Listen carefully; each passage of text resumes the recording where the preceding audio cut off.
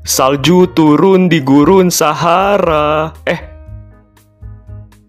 Min, Sahara di benua Afrika. Benua Afrika jadi separuh oranye sama separuh hijau. Well, sebenarnya ada penjelasannya. Lo tahu nggak kalau ada tembok besar di Afrika? Hah? Kirain tembok besar di Tiongkok doang. Yuk, kita bahas. Keliling dunia yuk. Hayu. Hola amigos, mungkin sebagian besar dari kita tahu ada sebuah tembok raksasa atau The Great Wall of China yang lokasinya ada di Tiongkok. Tapi tahukah kalian, ternyata ada tembok raksasa lainnya di muka bumi ini. Lokasinya ada di benua Afrika. Tembok raksasa ini bernama The Great Green Wall. Nah, bedanya, tembok raksasa di Tiongkok itu berbentuk bangunan, sementara tembok hijau raksasa di Afrika itu berupa pepohonan. Jadi, kenapa tembok raksasa hijau ini harus dibangun? Seperti yang kita tahu, sebagian besar wilayah utara di benua Afrika adalah daerah padang pasir, gurun Sahara. Emangnya kenapa sama gurun Sahara, Min? Well, ada yang namanya desertifikasi atau penggurunan. Desertifikasi itu adalah kondisi di mana lahan yang relatif kering menjadi semakin gersang, kehilangan vegetasi, dan juga kehilangan badan air. Atau kalau mau lebih simpel, berkaitan sama pembahasan kali ini, maksudnya padang pasir itu makin meluas. Karena gurun Sahara itu makin meluas setiap waktunya. Jadi, cara untuk menghentikan desertifikasi ini adalah dengan cara membuat sebuah area hijau di bagian Sahel. Sahel apaan lagi, Min? Kalian lihat di peta ini. Nah, Sahel itu di sebelah sini, amigos. Jadi wilayah Sahel adalah semacam wilayah transisi antara gurun Sahara dengan wilayah savana Sudan. Wilayah Sahel ini mencakup sebagian wilayah Senegal, Mauritania, Mali, Aljazair, Burkina Faso, Niger, Nigeria, Kamerun, Chad, Sudan, Sudan Selatan, Eritrea, dan Ethiopia. Dan kita bisa lihat, kalau wilayah transisi ini menunjukkan kedua area yang sangat kontras antara gurun Sahara yang gersang dengan savana Sudan yang hijau. Sekarang kita makin paham kenapa tembok hijau raksasa ini emang harus direalisasikan. Kali ini beneran hijau, Min. Nggak kayak Pulau Es, tapi ngaku-ngakunya hijau. Saaya lo benang nilon. Proyek Great Green Wall itu direncanakan oleh Uni Afrika. Uni Afrika sendiri, seperti namanya, adalah sebuah organisasi benua Afrika. Dengan total 55 negara benua Afrika menjadi anggotanya. Uni Afrika merencanakan proyek Great Green Wall pada tahun 2007. Tentunya dengan tujuan untuk mencegah desertifikasi. Yang Mimin jelasin tadi, jadi akan ditanam pepohonan dalam jumlah besar pada daerah Sahel yang membentang dengan panjang 7.775 km dan lebar 15 km dari kota Djibouti di Djibouti sampai ke Dakar di Senegal. Tapi, jauh sebelum perencanaan pada tahun 2007, sebenarnya udah ada kesadaran akan hal ini pada tahun 1950-an, ketika seorang penjelajah asal UK yang bernama Richard Saint Barb Baker melakukan ekspedisi di wilayah gurun Sahara. Pada saat itu, Richard berpikir untuk melakukan penanaman pohon secara strategis di gurun Sahara. Richard kemudian mengelilingi gurun tersebut, melewati 24 negara, dan hal ini kemudian ia tulis dalam sebuah karya ilmiah yang berjudul Sahara Challenge yang diterbitkan pada tahun 1954. Nah, ide atau gagasan inilah yang sekiranya menjadi permulaan proyek Great Green Wall pada tahun 2007. Oh iya, nama lengkap proyek ini adalah Great Green Wall of the Sahara and the Sahel. Biasanya disingkat GGW. GGWP min.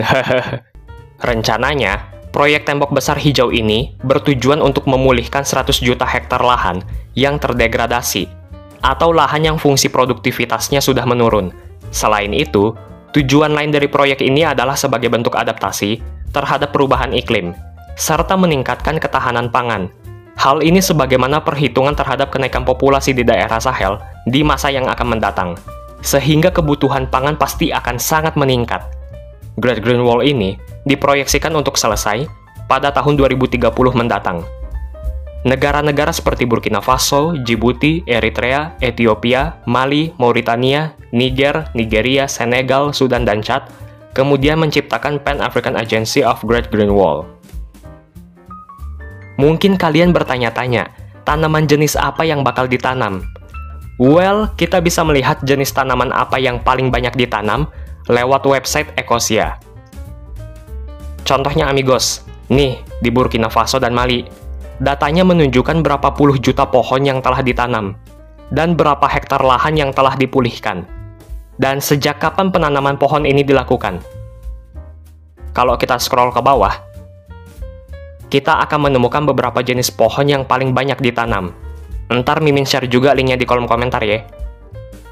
Nah, kalau ini yang Senegal. Udah 17 jutaan sejak tahun 2018.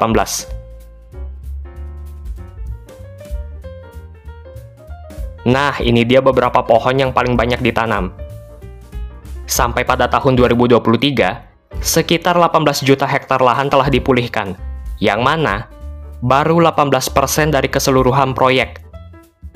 Akan tetapi, sepertinya ada banyak hal yang menghambat atau bahkan dapat merusak proyek ini, seperti berbagai ancaman dari beberapa pihak pada tahun 2023, dan juga kurangnya pendanaan, dan faktor-faktor lainnya, sehingga target penyelesaian pada tahun 2030 terancam gagal.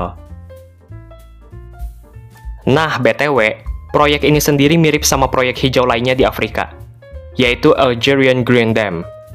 Proyek ini juga bertujuan untuk menghentikan desertifikasi. Algerian Green Dam sudah dimulai sejak tahun 1960-an. Jenis tanaman yang ditanam adalah Pinus Aleppo. Pinus Aleppo sendiri termasuk tanaman yang mudah tumbuh di daerah tersebut. Tanaman lainnya yang ditanam adalah Stipa tenacissima. Namun sayangnya, Meskipun efektif, tapi proyek ini sendiri mengalami kerusakan.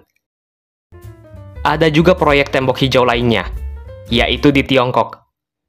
Um, ini tembok raksasa. Nah, ini dia. Jadi selain tembok raksasa atau tembok besar, Tiongkok juga punya tembok hijau amigos. Kalau proyek tembok hijau di Tiongkok ini memiliki nama resmi Tree North Shelter Forest Program. Sama juga tujuannya, untuk mencegah desertifikasi kali ini untuk mencegah perluasan gurun gobi. Kalau program ini udah dimulai sejak sekitar tahun 1978. Proyek ini juga berhasil membuat sebagian daerah gurun gobi yang semula gersang menjadi daerah yang ecological friendly, serta menjadi daerah yang subur. Kayak video klip lagu pada akhirnya ya Min, Baik Algerian Green Dam maupun tembok hijau di Tiongkok sama-sama mendapatkan kritik oleh berbagai pihak. Hong Chang yang merupakan seorang profesor di University of Wisconsin, berpendapat kalau pepohonan tersebut dapat menyerap air tanah dalam jumlah yang besar, sehingga justru menjadi masalah terhadap daerah kering di Tiongkok. Ia juga berpendapat kalau penanaman pohon itu hanya menjadi perbaikan sementara dan tidak akan bisa mengubah kondisi alam secara permanen. Nah, kalau menurut kalian sendiri gimana, amigos? Oh iya, amigos, mohon maaf kalau Mimin masih banyak kekurangan dalam penyampaian informasi ya. Jadi kalian boleh koreksi juga. Amigos bebas berpendapat ya, kritik, saran, asalkan sopan. Mungkin ada juga yang kurang berkenan misalnya dengan jokes Mimin. Mudah-mudahan ke depannya Mimin juga bisa lebih baik lagi ya. Kalau ada kritik dan saran, Mimin berterima kasih. Berarti itu semua bentuk perhatian dari kalian semua amigos. Sehat-sehat semuanya.